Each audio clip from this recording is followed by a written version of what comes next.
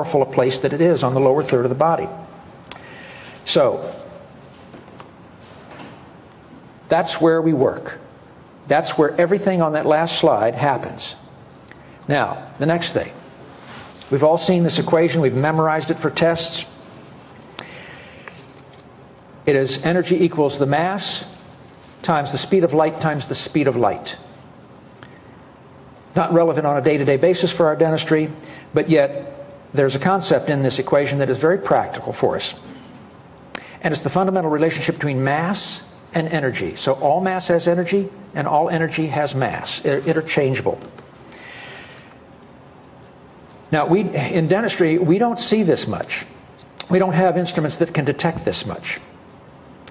But in medicine, they've done this for years. Um, yeah, CAT scans, MRIs, electromyograms, electrocardiograms, electroencephalograms, ultrasounds. These are all energy detecting devices that show us the health of, this, of the body and the systems. Now, what's, what, what follows right now may sound a, a bit strange to you, and I point this out so you don't think I don't know. So there's anatomic and there's non-anatomic energy pathways in the body. The anatomic pathways for energy in the body is the central nervous system. It's got the brain, the spinal cord, all the peripheral nervous systems. The non-anatomic energies in the, in the body are the uh, acupunctural meridians, and there's 12 of them. They keep the body in balance. And Eastern medicine for 3,500 years has known this. They balance the body back with nutrients, exercise, peacefulness of mind. In Western medicine, it's uh, take two of these, call me in the morning kind of thing. It's adding drugs back to the body to create health but I don't have any Prozac deficient patients in my practice. And I don't think you do either. So, in the Eastern world, it's all about being healthy and being in balance. There is a um, special sense that the body has called proprioception. And it's an unconscious perception of the movement that we have in spatial orientations inside the body.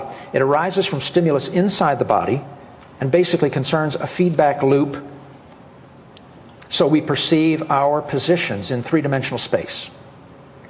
It really means that we've got a built in neurological computer that guides us through the physical world. And it may be too, uh, too that may be too technical all the way around, but I, I want to show you in a little different way also. The American Indians have a, a saying that no tree has branches so foolish as to fight with each other. Those, that's chart of the acupunctural meridians.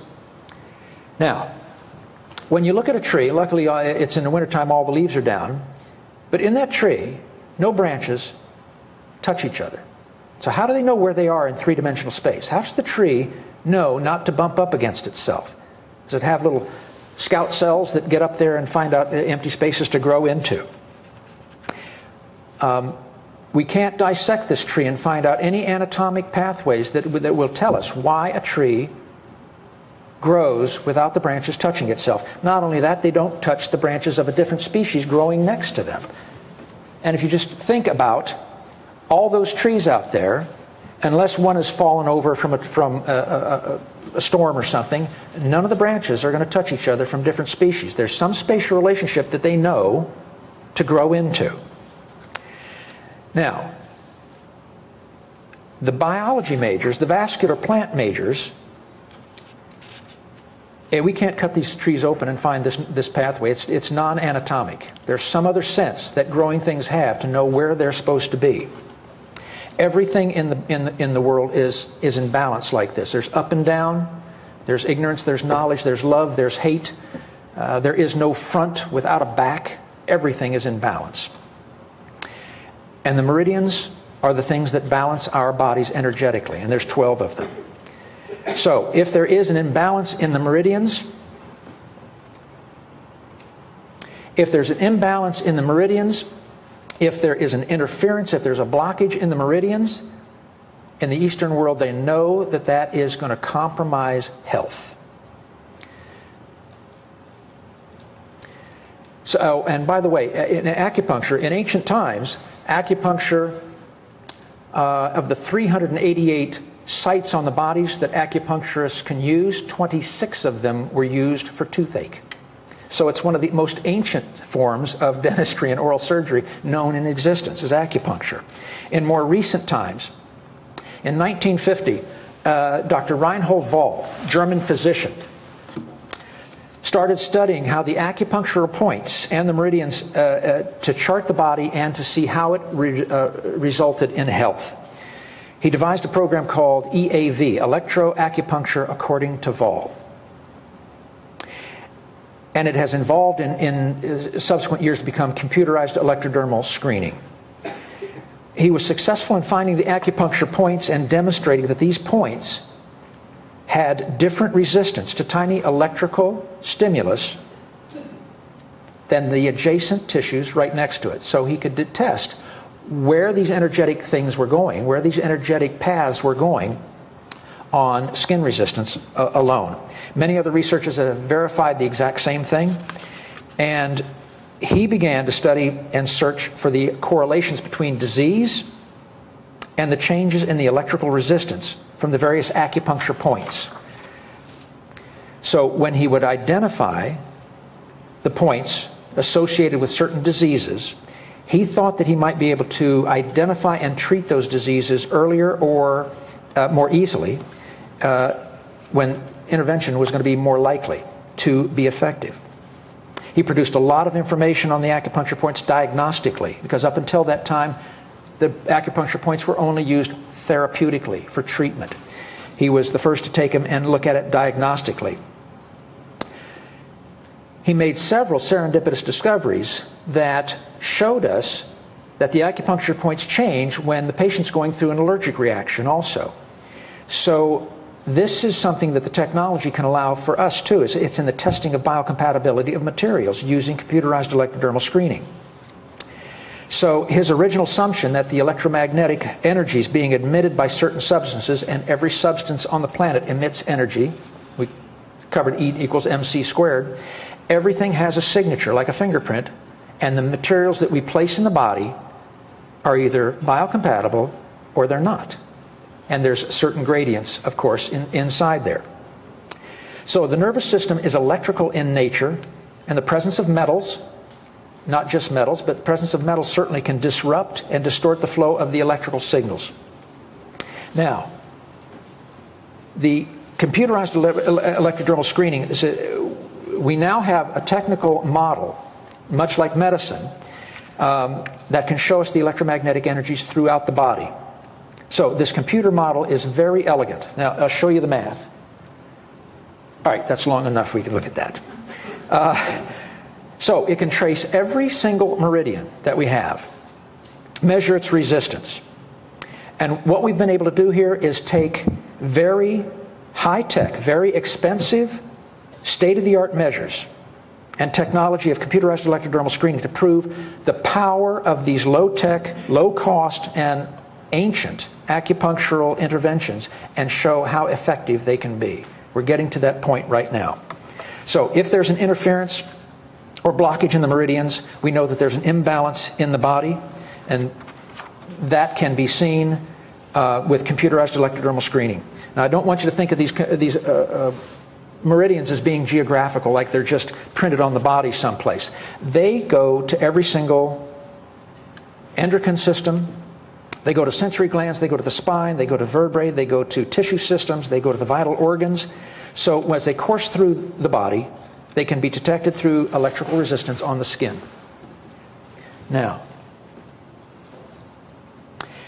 there are two places on the body where every meridian converges, where all of them come together. And the first place where every meridian converges is the reproductive organs in the genitals. Now, for procreation, that makes sense. That for, for, for the survival of our species, this makes sense. This is an awfully powerful thing to have your energies in that area. The only other place on the human body where all 12 energetic meridians converge is in a very small place in the lower third of the face called the mouth. So, we go through the entire body, and the two places where all acupunctural meridians converge are the genitals and the mouth. Every meridian passes through the mouth. So it's not going to surprise you to say that every single meridian is associated with a tooth. Now, it's not to mean that we can take a tooth, fix it, and fix somebody's foot, but I think we've seen today that you can take quite a bit in the mouth and fix distant parts of, of the body. So, in this is extremely powerful. Now we've got a third of the cranial nerves that go to the lower third of the face. We have all 12 acupunctural meridians concentrated and converging in the mouth. We've got kissing, language, speaking, breathing, tasting, eating. He says, there is no other profession that has the awesome responsibility of taking care of the most powerful place on the body that we do. So, I had a new thought when this came to me, and it was I could really screw this up if I don't know what I'm doing. Is it? I've had oncologists tell me also, the oncologists that we work with, is, is you just don't know how important you are as dentists in the fight for cancer. It's not all about teeth and gums to them either. So, I've gotten to the specific point. So, what we do in the mouth as dentists is extremely important. Not so much in the way that people think, our patients think. But, you see, yeah, they, we do caries, we do occlusal problems, cover periodontal disease. We know in the last 15 years, since Steve Offenbacher out of UNC has got a, a links to cardiovascular events. We've got the cranial nerves that go down there, and they're interested in what happens in the, in the lower third of the face. We've got every acupunctural meridian, and now we are the only profession that puts foreign objects purposely in the body's energy fields. Now, it doesn't have to be mercury, although mercury is the worst. It could be any material. It could be composite resins. It's probably not going to surprise you that there's good, good composite resins and bad composite resins. So, when a root canal is unknowingly successful, unsuccessful, and I think we saw the, the, the, uh, the cone beam tomography this morning, I said that's extremely powerful technology for us to have. So whether we can read it or not, or we're, we're accustomed to reading those particular radiographs.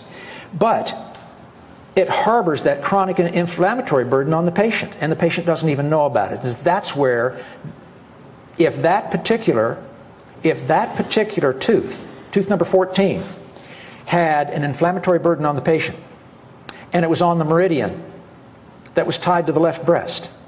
He says, then there is some kind of interference with that energies that is not going to be available for fighting whatever's happening on breast cancer for the left breast. So you've got a blockage and interference because of in, uh, uh, incompatible metals and nonmetals that we place in the body and infections.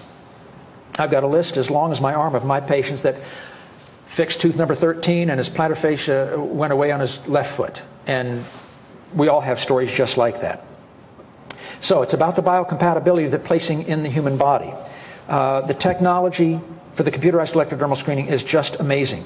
Uh, it detects those signals, just like the fingerprint, and it produces the electrical signal, and then we can test our dental materials and compare it and integrate it with the energetic signals of the body through the meridians. Now, back in the 1950s, um, back in the, this is 1953, back in the 1950s, Dr. Voll de- developed uh, the chart between the bioenergetic relationships between the teeth and the rest of the body. Now, there are more charts that are much more specific than this, but this is the original one. It ties into which tooth is tied to glands, organs, joints. And if anybody wants a copy of this, just let, let me have your email. I'll shoot you out a copy of this. There, there are more uh, uh, developed charts than this, but this is a good thing to have at chairside when somebody says, hey, when you, when you did that bridge on the lower left, the stomach problems on the right side went away. Then you'll just have, you'll know that tooth number 29, 30 are tied to the right side of the stomach. So, We have the most powerful place on the body. We have energies that run through the body, culminate in the lower third of the face. We have a way to eavesdrop on the energies of the body. We have the ability to check for the biocompatibility of the materials that we're going to place in the body. And we've got the, off, uh, the professional burden of taking care of the patients morally. Uh, not just because uh, the manufacturer's representatives are trying to sell us something. So, personally, I think we ought to be very successful in dentistry. I think that um, when we try to fit one size fits all and we look for the universals, we think that uh, all of our facilities are the same, all of our education are the same, all of our staff are the same, all of our manual abilities, our dexterity is the same, and it's profoundly mistaken at that point. So I think we ought to have the best technologies available to us. But I also think that we should be doing something significant in the IAOMT. And I think it's a good thing that when you do this, you have a very honorable life. So when you're done with your career, you can look back on it and enjoy it a second time. So when you're in your rocking chair test, you, know, you say, I pulled a lot of teeth, I put a lot of implants in, I did a lot of crowns. And I'm not talking about, um, look at my big practice, look at my big house, look at my big car, look at my beautiful wife, look at all my shiny new stuff. He says, what have you accomplished? So, when you look at what you've done with your life, what you've done with your career, what you do with your time, I don't want you to be standing there at the end of that and say nothing. Because one thing that frightens me is to be here for 80 or 90 years and to be practicing dentistry for 25 or 35 years of that time and to have wasted my time.